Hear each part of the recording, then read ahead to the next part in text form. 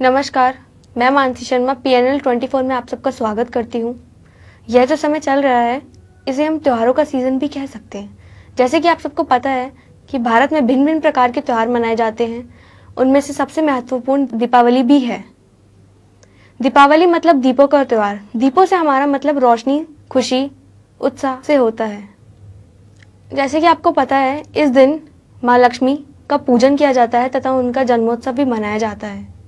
इस दिन श्री रामचंद्र जी चौदह वर्ष का वनवास बिताकर अयोध्या वापस लौटे थे।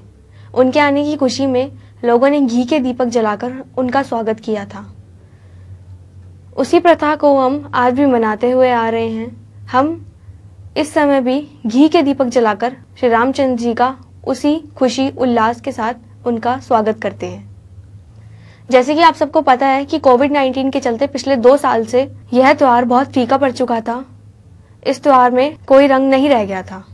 पर इस साल बाजारों में लोगों की भारी भीड़ देखकर ऐसा लग रहा है जैसे कि इस त्यौहार जान आ चुकी है। मिठाइयों की दुकान पर भारी भीड़ देखकर आप समझ ही सकते हैं कि लोगों के अंदर क्या खुशी झलक रही है, उनके चेहरे पर की खुशी को आप समझ सकते हैं। दीपावली के त्योहार की अच्छाइयाँ हैं तो कुछ बुराइयाँ भी हैं। इस त्योहार में कई लोग मिलावट की मिठाइयाँ इत्यादि सामान बेचते हैं। जैसे कि बाजारों में आपको रंग बिरंगी मिठाइयाँ देखने को मिलती हैं, उनमें रंग बिरंगे कलर मिलाए जाते हैं, जो आपकी सेहत के लिए बहुत हानिकारक होते हैं। आप उनको अवॉइड करके ड्राई फ्रूट्स जैसे सामान भी खरीद कर लोगों को भेंट दे सकते हैं। मुझे आशा है कि आपने मेरी बात को बहुत अच्छे से समझा होगा।